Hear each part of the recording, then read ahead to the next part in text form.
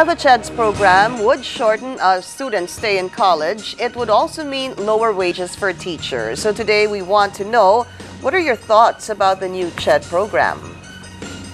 Sorry, Pinky. So just so I- I'm I'm clear Pros and cons. What are the, the pros and cons for this? the Go. subjects, the two years that are already taken up in 11th and 12th grade, or because there was added um, added middle school. So now there's kind of like a, a vacuum for um, for those subjects in college, or it'll be repetitive if they end up taking Yes, it again. it'll be repetitive if you take it up on your first and second year college years So because it you're takes taking out the redundancy, the, Yes, the redundant subjects. Because the, some of the subjects that you know, well, we normally take first year and second college will now be taught in grades 11 and 12. Mm. So they said, okay, why are we going to teach all these subjects on first and second year?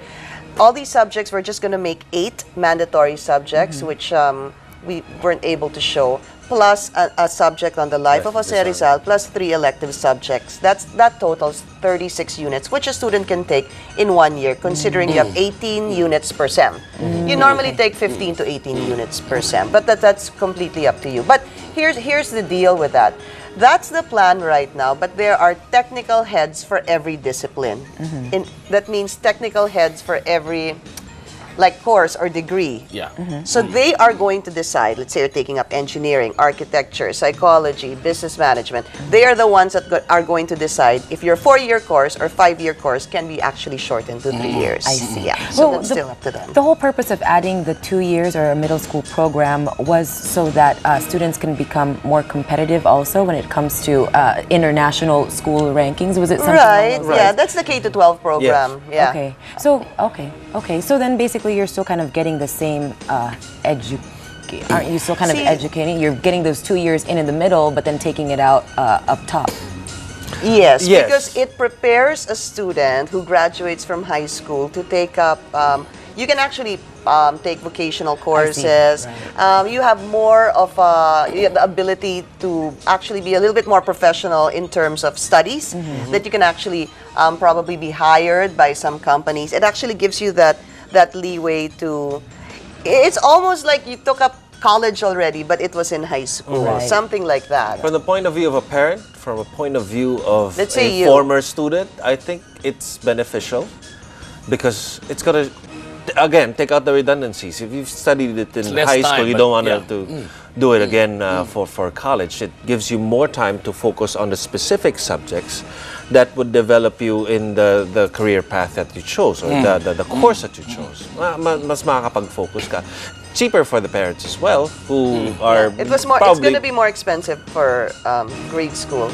Yes, school, a bit. you Mabawi din. more years. Mabawi bawi And then you take it out din. on college. But yeah. it, you, you, sh- well, yeah, yeah, you take out the time. But from the point of view of a former student, it could be beneficial. You know, I, I like the idea of shortening it because one, it as, as, as you've said, it shortens the, the time of the parents putting the kids through school. But then again, my question is this: How is the proficiency level after they shorten it? Okay, I, I understand redundancy, but there are times that when you graduate from high school and you enter college, the the lessons that you have learned in high school don't really sink in.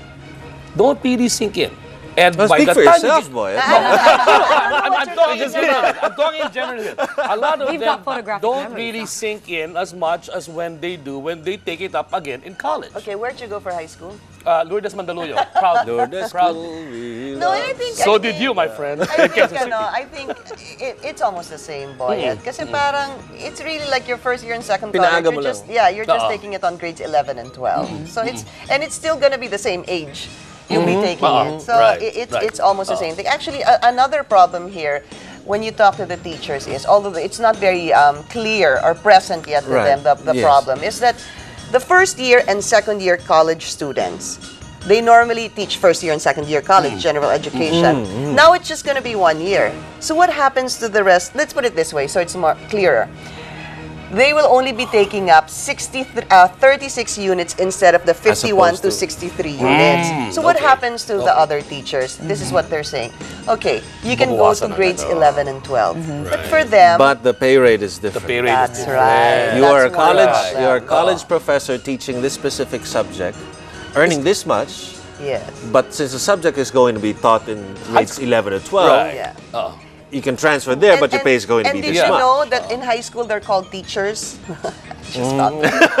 and In, in college, called they're called professors. professors. Oh. Yeah, I had to make sure I was calling them right because you know. Most probably you call To it me, they were sir all and ma'am. Sir and ma'am lang Sir sila. and ma'am. Ma'am, sir lang sila. That's true.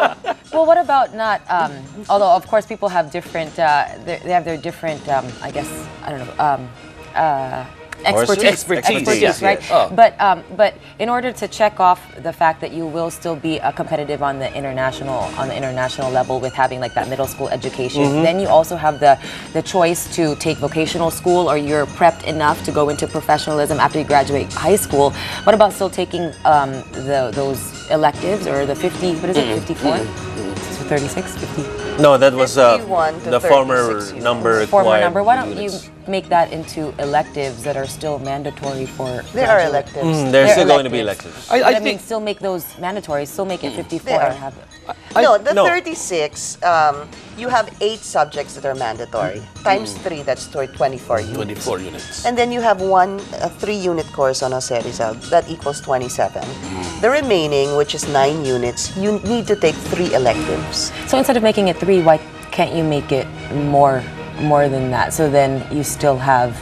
You know, you have a bigger number of electives, but maybe at that point, like the student is But the bigger number of electives, I mean, the bigger number of uh, units is not the exact problem because some of them are going to be taken up already in high school, so you don't have to take it up on college. Right, then have it It's just going to be moved. It's just going to be moved. But the, the, the, the main problem that is being raised in the report is for the teachers. The teachers. I want to find out more how it's going to be, uh, if, if it's going to be really uh, a major effect on. Yeah, the, it looks the like it. teachers. It looks yes. actually the teacher I was talking to said, hindi pa nila masyadong nararamdaman because it's not gonna happen just yet. It happens in 2018. Why? Maybe you're asking ang tagal-tagal pa because the first people who will benefit from this are the students who graduated from K to 12. That's right. So you need to finish that kinder and then grades 1 to 12 before you're actually elig- eligible for this general education um, um, lesson, reduce general education.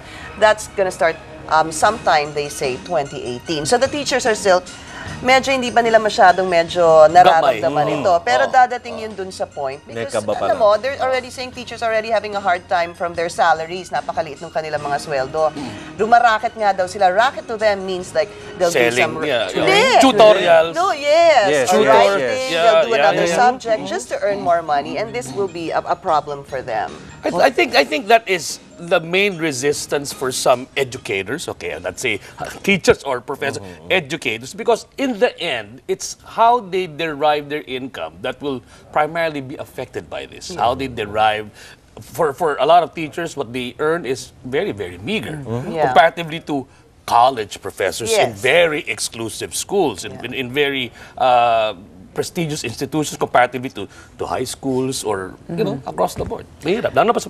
Well, it sounds like we have lots of time for this discussion to expand even more, especially since it might be all the way up till 2018. Let's see what our viewers think about this. Join our discussion by posting your answers to our question of the day.